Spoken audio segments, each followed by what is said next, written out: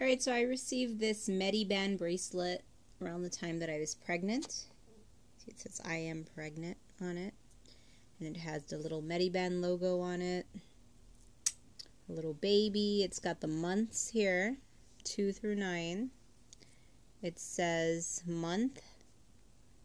And then, sorry, I don't mean to move it so much. And it says see inside for details. And then on the inside, you can write phone number or address or whatever other important information you want to add. Um, they don't only have pregnancy bracelets, they also have for all different kinds of medical illnesses or um, conditions. And they come in these little foil packets. And they're really nice because they're waterproof. They're not metal. They're comfortable. They come in different colors.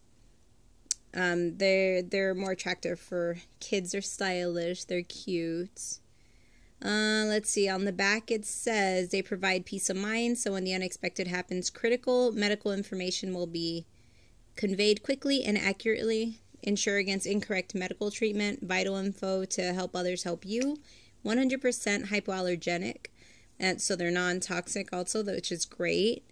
Um, it also says you can upgrade to Mediband Plus, and when you do that, you'll have your medical history securely shared, I mean, stored online. And to write on them, you can use like a permanent marker or some kind of permanent pen to save your info. It's a pretty cool bracelet.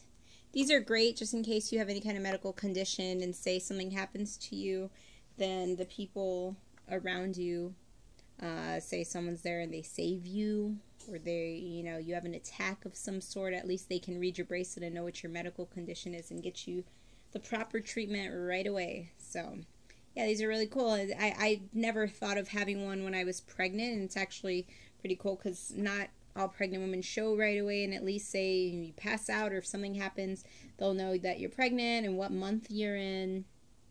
And um, by you know looking at your info and the on the inside they can get you the help that you need right away. So i will put the website and a link to my review on this product and you can learn a little bit more about it on my blog. So i will see you guys in the next review. Bye guys